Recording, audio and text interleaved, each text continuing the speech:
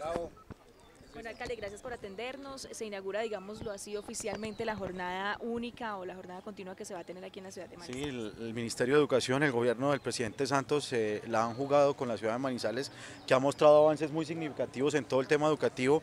Y la jornada única es un gran sueño del gobierno nacional y siempre ha sido un sueño del gobierno local. Y por eso hoy viene la ministra no solo a inaugurar un colegio eh, que por ley 21 hemos eh, construido, sino que además la ampliación del mismo colegio, sino que además vamos a lanzar el proyecto de jornada única.